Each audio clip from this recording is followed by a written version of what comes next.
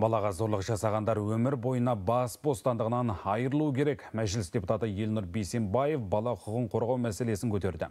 Кәмілет жасына толмағандарға көрсетілген зорлық зомбылықтың кез келген түріне қатысты жазаны күшейтуді талап етті.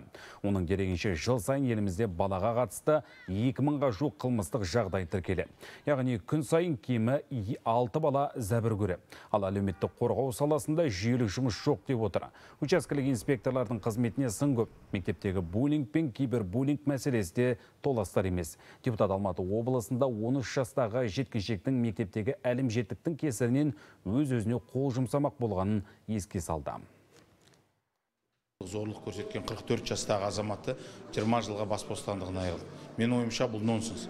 Біріншіден өмір бақи бас бостандығынан айыру керек, екінші медициналық химиялық кастрацияны міндеттеу керек. Сонда ғана ол біз қоғамға шынайы түрде балаларды қорғайтынымыз көрсете аламыз.